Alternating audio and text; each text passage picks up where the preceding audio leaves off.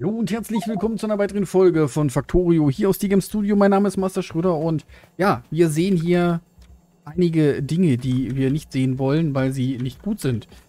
Ähm, die müssen wir dann natürlich jetzt hier noch beheben, in der Hoffnung, dass ich jetzt, wenn ich hier über den Strom rausreiße, das hier trotzdem funktioniert weiterhin. Also, nichts ohne Strom ist, was ohne Strom sein darf oder nicht ohne Strom sein darf. Und damit geht hier noch ein bisschen was los. Und dann sehen wir auch hier noch, äh, habe ich beim Überflug mal über die Base gesehen, dass ich hier noch einen äh, katastrophalen Fehler eingebaut habe. Ich weiß jetzt nicht, wie rum der da steht. Ah, der steht so rum da. Ähm, und den müssen wir dann da noch hinstellen, damit die denn hier funktionieren können. Damit nämlich auch mal hier die gute Bronze abgeholt werden kann. Das ist Bronze hier drin, oder? Ist Messing? Ne, Bronze. Genau. So, also Bronze haben wir hier. Sehr schön. Läuft. Funktioniert. Äh, was haben wir hier noch? Wir haben Aluminium haben wir hier, wir haben das hier und wir haben Stahl hier und wir haben hier... Okay. Also, uns fehlt jetzt eigentlich als flüssiges Metall ähm, ja, ein bisschen was, wo wir äh, Messing machen können.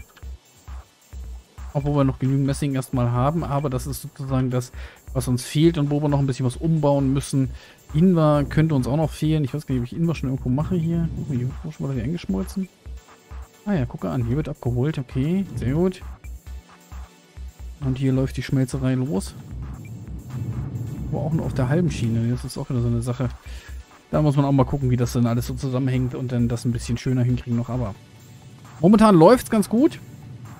Und äh, ja, Energieverbrauch ist gar nicht mal so hoch, weil vielleicht eventuell irgendwas nicht stimmt oder weil gerade nicht allzu viel produziert. So, hier sehen wir, da ist eine Kiste leer oder ja, die ist schon leer und die anderen nicht. Hm. Auch irgendwie einer. Achso, guck mal hier. Siehst du, weil da ist doch schon wieder.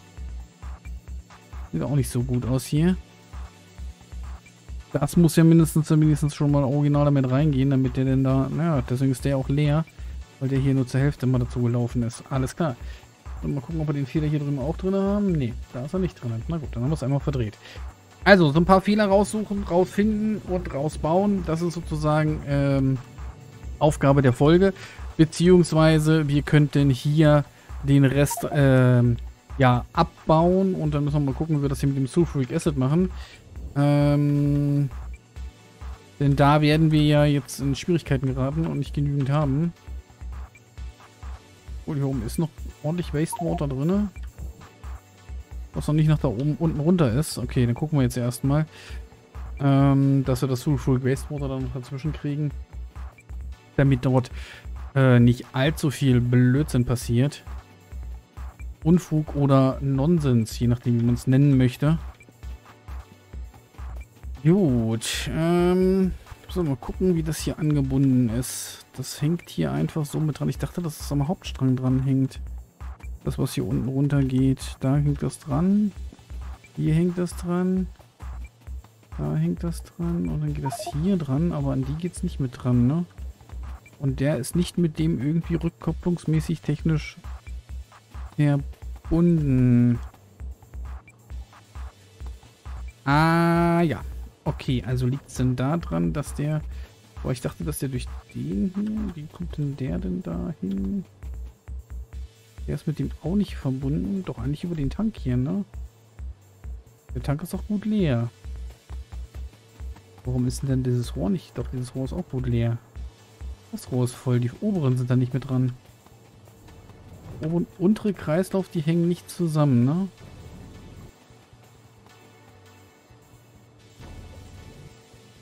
Müssen sie ja theoretisch auch nicht. Aber ich muss es ja hier nicht wegschmeißen, wenn ich es unten gebrauchen kann, ne? Hm. Kicken wir mal. Hängen wir das jetzt hier erstmal frecherweise an der Stelle zusammen. Damit müsste jetzt hier ein bisschen was reinlaufen. Und theoretisch auch nicht die Pumpe das hier raussaugen, wie blöd. Und nach unten drücken und dann hier in den Tank sammeln. Oder auch nicht. Hätte ich jetzt erwartet. Ich weiß aber nicht, wie die Vorzugsschaltung hier ist. Von dem Sulfuric Wastewater. Jedenfalls ist das jetzt auch leer. Gut, das, da ist also nicht allzu viel im Tank gewesen. Für das Ganze jetzt hier ein bisschen ad absurdum.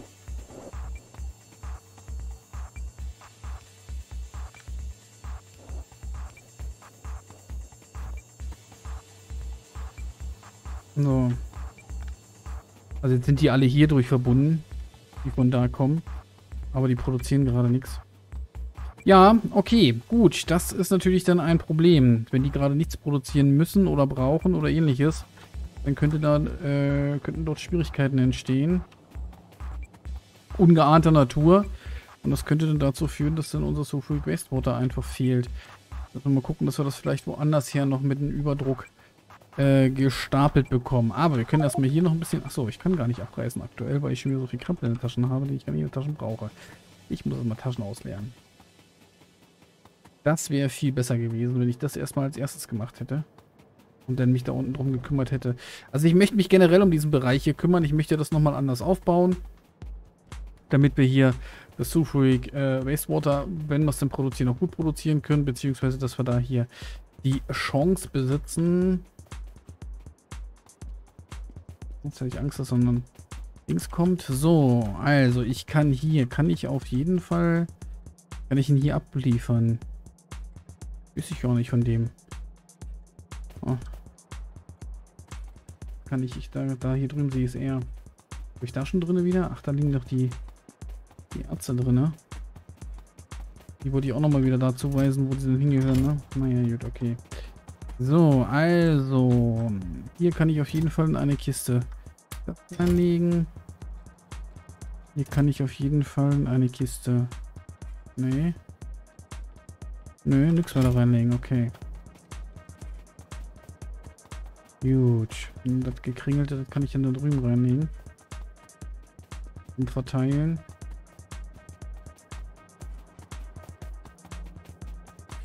So. Also die Kringelte kann ich hier reinlegen und den Rest den muss ich schon wieder oben reinlegen in den Ausgang. Von den ganzen Fabriken hier oben. So. Kupfer kann ich hier oben auch loswerden, aber Kupfer brauche ich nicht unbedingt loswerden, aber die Wafer, die kann ich noch loswerden hier. Das ist nicht das Problem. Da können wir hier oben ein paar reintun. So, gut. Die Bretter kann ich noch loswerden. Die weißen. Die brauche ich jetzt auch nicht in der Tasche. So. Da sind sie weg. Gut, na dann. So, dann ist das hier erstmal ähm, ein bisschen Inventar wieder frei für mich, um meine Bautätigkeiten, die ich jetzt haben möchte und machen muss, ähm, damit noch da ein bisschen Ordnung entsteht und dann können wir dort die anderen Legierungen machen, also dann können wir dort Brass machen und dann können wir uns dann darum kümmern, dass wir da noch eine Legierung hinkriegen, die wir eigentlich schon haben ähm, damit wir das dann mal einmal abreißen können und dann können wir dort, also sagen wir mal, der Umbau soll stattfinden, dass wir vier Metalle auf die Art und Weise dort immer haben. Ähm, pro Kästchen, das reicht uns aus. Als Produktion momentan soll, sollte uns das ausreichen. Obwohl, nee, hier soll ich keine Metall rein, sollte eigentlich die Dings rein. Okay, ja, nee, oh ja, stimmt. Wo es mir wieder einfällt. So, hier könnten doch eigentlich ähm, Solarzellen rein. Wo habe ich meine Solarzellen eigentlich? Da. Die könnten doch hier noch rein. Aber passen die da nicht? Das ist doch wunderbar. Und hier ist irgendwas im Weg. Achso, da ist ein... Glaube ich, ein Mast zu viel. Und eine Lampe zu viel. Und dann müsste das eigentlich auch passen wieder. Äh, B. 10. Ah, die Signale sind am Weg. Na egal, aber den Rest können wir ja da hinstellen. Das stört ja nicht weiter. So. Denn eigentlich Solarzellen müssten ein paar gebaut sein, oder? Da müssten doch ein paar hier in Kisten rum oxidieren. Ah ja, 72 Stück, immerhin. So. Und umso mehr Solarzellen wir haben, desto besser ist das denn für unser gesamtes System. Also, ähm, das hier ist also aktuell ein Problem, dass wir nicht genügend Wastewater bekommen. So, wir lassen das mal abholen. Ich lasse das mal abholen.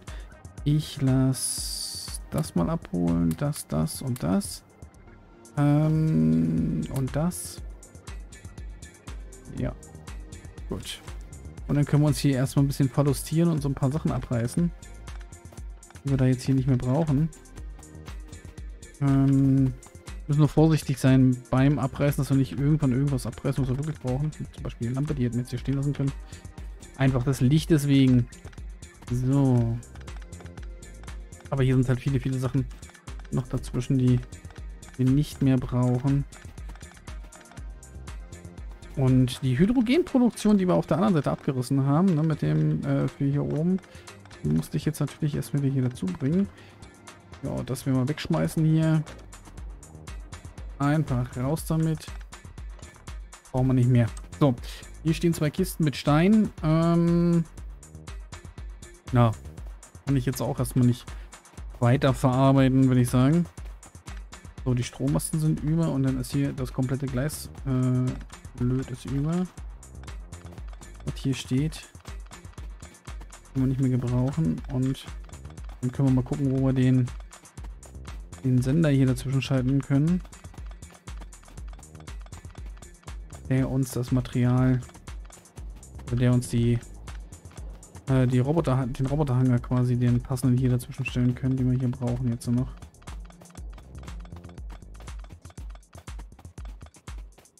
So. Und dann müssen wir hier unten die Produktion für die, ähm also es soll ja hier Produktion ähm, Katalysator der Art sein. Hier soll Produktion Katalysator der grünen Art sein und dazwischen soll die Produktion der Katalysatoren sein für äh, anderen Krempel. Wir müssen aber wirklich noch einen Zufuhr Wastewater äh, Überfluss irgendwo mit einbauen, äh, weil wir das brauchen. Ähm, Sulfuric Wastewater will ich jetzt nicht von Hand herstellen. Irgendwie, ich weiß nicht, ob ich das überhaupt kann. Oder ob man das überhaupt herstellen lassen kann. Da bin ich mir nicht mehr sicher. Ähm, könnte sein, weiß ich gar nicht. Ähm, aber, wenn, dann würde ich es ganz gerne äh, vermeiden wollen. Oh, das kann hier bleiben. So, die Rohre können aber weg. Sehr gut. So, können wir hier weitermachen und abreißen.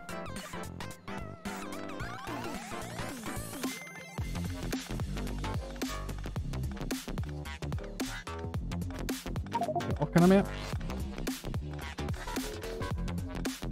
Das auch nicht. Hier ist unser Startpunkt. Die liegen hier noch drin. 2,4K. Die müssen wir auch nochmal irgendwo hinsortieren, wo sie gehören. Oder wo sie gebrauchen könnten. wie gesagt, hier ist halt eben wirklich keine Flüssigkeit momentan vorhanden.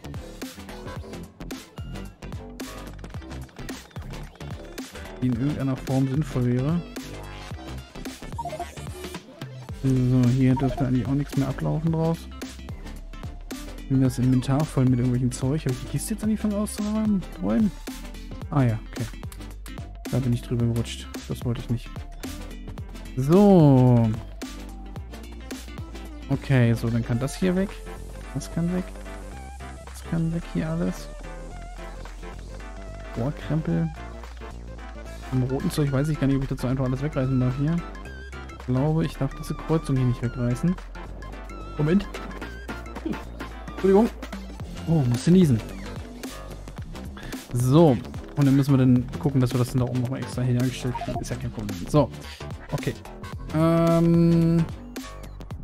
Rohr weg, Rohr weg, Rohr weg, Rohr weg, Rohr weg. Hier rumfliegen. So. Gut. Oder auch nicht. Dann machen wir das hier mal ganz kurz auf, das Rohr. Und dann gucken wir mal, ob ich das wenn ich das Rohr jetzt da ausreiße, denn, geht bis da runter. Okay. Dann sollte hier noch immer das Hydrogen durchlaufen. Ja, da ist ja auch noch genug da. Ist schon mal ganz gut. So, der hat jetzt auch genügend produziert hier. Naja, noch nicht ganz. Aber das ist schon wieder fast voll. Okay, also hier, da wird plötzlich produziert. Und dann könnte hier auch durchaus mal ein bisschen Flüssigkeit hier dann da nochmal zustande kommen. Ist immer noch die große Frage, wer hat Vorrang hier, ne? Aber ich glaube, er zieht sich das erstmal hier raus, ne? Also da ist jetzt keine, keine äh, Vorrangschaltung da dran. So, dann können wir hier diese unsägliche Steigleitung hier noch raus. So, was ist denn hier alles überhaupt über? Also, das ist auf jeden Fall über hier. Ah, da bin ich mir immer so sicher. Es geht bis dahin. Ich glaube, das ist gar nicht so über gewesen hier, ne? Ne, das war gar nicht so über. Das wird sogar gebraucht. War im Überfluss. Sogar gebraucht. So. Damit ich hier oben nämlich das Purified Water hinkriege. Alles klar, okay, ja. Brauche ich ja hier. Gut, gut, gut, gut, gut. Oder wie auch immer man das jetzt hier nennt. So. Okay, ähm, aber mineralisiertes Wasser ist hier über. Das kann raus. So.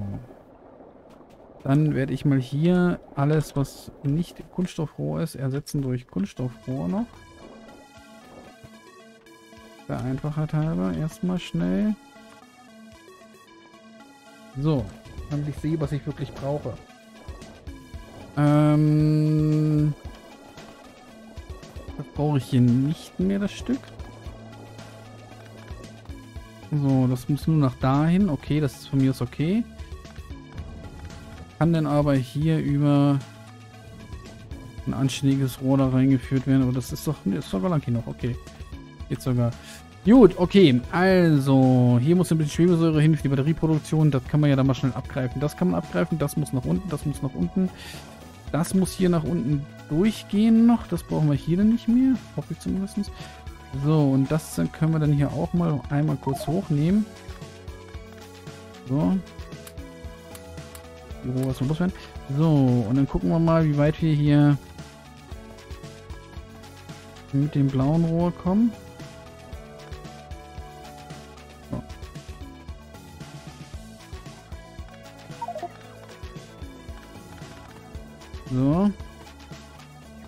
Ist... Okay, das muss hier... Wo im Winkel? Achso, das kommt da an. Okay. So, du hast jetzt hier kein... Ah ja, okay. Du hast keinen... Weil genau der Container da drauf steht. Alles klar, okay. Ähm, und du hast keinen Strom gerade hier. Aber dich kann ich ja hier hinsetzen, weil hier gehörst du hin. So. Und dann hast du da auch Strom. Dann kann ich dich hochnehmen. So, jetzt fehlt hier der äh, zum Reinstellen und der hier fehlt. Okay, naja gut, okay. Das kriegen wir hin. So. Okay. Ähm, ja, das hier in der Mitte ist jetzt auch gerade überflüssig. So. Das hier die Steigleitung brauchen wir noch mit dem roten Zeug und das hier ist die Querleitung brauche ich nicht mehr. Dioxid brauche ich ja auch nicht mehr. Die Querleitung brauche ich auch nicht mehr.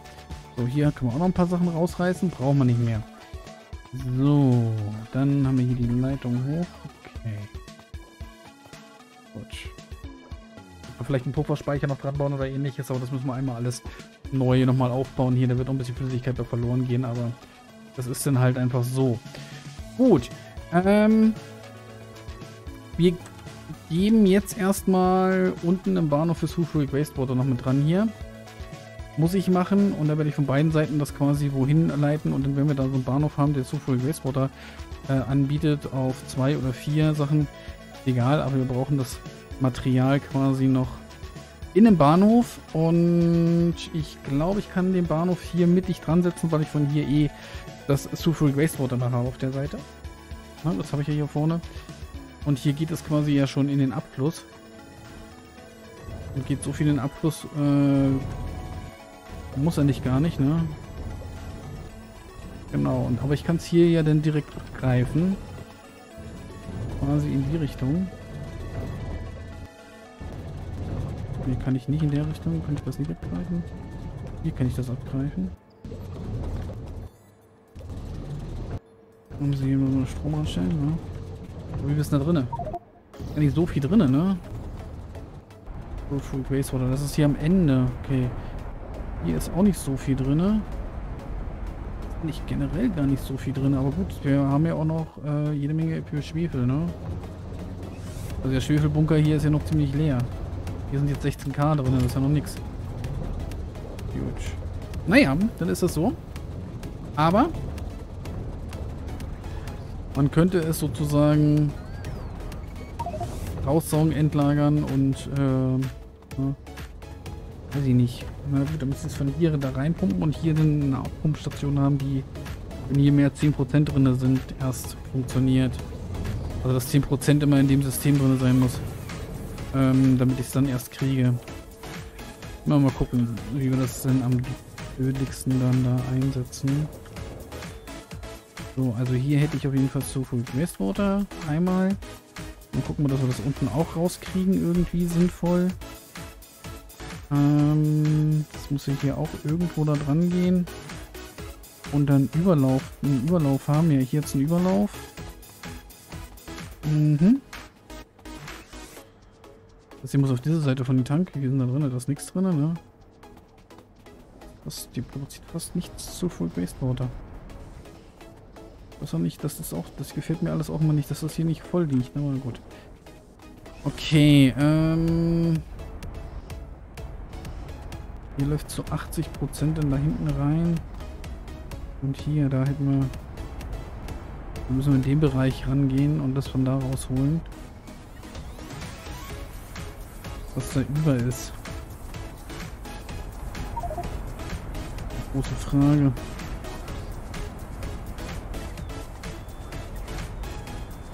Machen wir hier einen anderen Tank hin. Dann machen wir hier eine andere Bauform von einem Tank hin und den Tank hin.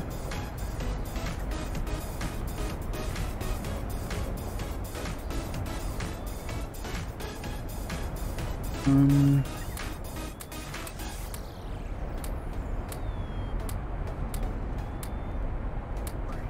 die weg.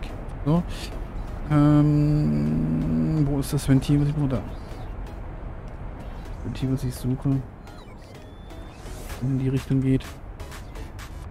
Und wir gehen hier dran und können das von hier rausholen. Wir haben das jetzt hier erstmal. Ob das jetzt da Sinn macht oder nicht Sinn macht, ist die nächste Frage. So, ähm, jetzt ist die ganz große Frage ist, wann ziehen wir hier draußen das dann raus? Achso, ihr holt das alles abholen bei mir, ja. Sehr nett von euch. Ähm, wann ziehen wir das da raus, ne? Also so viel Soulful Wastewater erstellen wir gar nicht. So, da sind 19k drin, also das dauert auch noch eine ganze Weile, ehe das hier sozusagen dann überproduziert hat. Naja, müssen wir mal gucken. Also, bauen wir einen Bahnhof dafür. Wo bauen wir den hin? Bauen wir den jetzt hier unten hin oder bauen wir den oben hin? Ich baue den erstmal oben hin. Ich denke, das ist fair, wenn wir den oben hinbauen, so einen Tankbahnhof. Anbieter und dann steht er hier und dann ist das gut. Und dann können wir unten vielleicht eventuell noch eine andere Flüssigkeit mal raustransportieren, wenn wir das dann nochmal müssen. So. Also, dass ich äh, so einen Sulfuric Waste Bahnhof mal machen wollte hier, das hatte ich ja schon immer mal an, angedroht. Ähm, nun habe ich mittlerweile auch erkannt, dass er nötig ist. Äh, für all unsere Zwecke. Und deswegen müssen wir den jetzt mal dann hier da reinbauen. Gut, das hätten wir. Dann äh, brauche ich jetzt hier Pumpen. Habe ich noch 24 Stück. Mir reichen 1, 2, 3, 1, 2, 3, 1, 2, 3, 1, 2, 3. So, Strömlinge. Können wir da auch noch dazwischen machen. Dann können wir den hier dazwischen hängen. So, und dann brauchen wir hier dann die Tanks. Äh, da habe ich genau 12 Stück. Das ist ja fast da wie die Faust aufs Auge. 1, 2, 3, 1, 2, 3, 2, 3, 1, 2, 3. Machen wir hier das Rohr dran. Oh. Hier das Rohr dran. Dann machen wir hier sozusagen den Anschluss da dran. Dann haben wir eine grüne Schnur.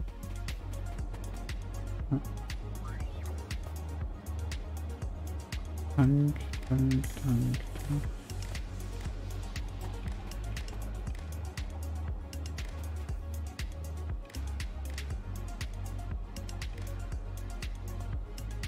So.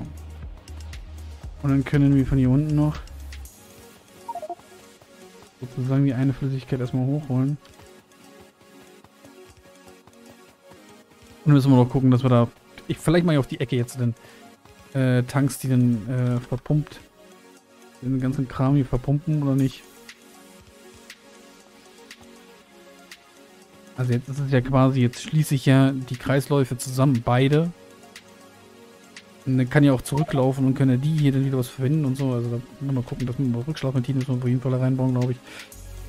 Ähm... Oder halt eben doch einfach Pumpen dann da mit dazwischen hängen, die das dann leer saugen oder nicht leer saugen. Leer saugen will es eigentlich nicht, ne? Ich will jetzt nicht unbedingt alles in die Bahn pumpen. Rückschlagventile. Habe ich in Non-Returnable Valves? Habe ich doch, oder? Machen wir hier ein Rückschlagventil rein. Alles, was hier einmal durchgelaufen ist, läuft dann nicht wieder zurück. So. Also was hier immer drin war, bleibt hier auch drin. Das ist gut. Und das nochmal oben auch nochmal einen Non-Returnable Valve dazwischen und dann ist alles gut. Ja, dann haben wir die Folge auch schon wieder geschafft. Äh, ah ja, jetzt wollte ich hier schon abholen, aber ja, noch gar keinen Strom hier für, mein, für die Pumpen.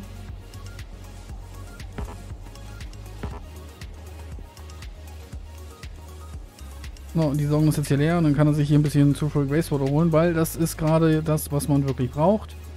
Er möchte natürlich eigentlich so viel haben, wie es geht, ne? Ja. Naja, hat er ja schon 3,7000 erstmal, aber wie gesagt, die Pumpen, die saugen das ja eh raus dann aus dem System, glaube ich, endgültig. Aber dann müsste noch ein bisschen wie ein Non-Returnable Valve dazwischen. So. Also einmal hier die Barriere überschritten hat. Bleibt auch dort. Damit ist das dann gut. In der Hoffnung, dass es wirklich gut ist. Eieiei. Und sonst hast du immer zu viel von dem Zuflug Wastewater. Ich weiß gar nicht, ob ich das noch irgendwo wegschmeiße, aber eigentlich nicht, ne? Denn nur hier drin wird es nur hergestellt und sonst eigentlich nirgends weiter.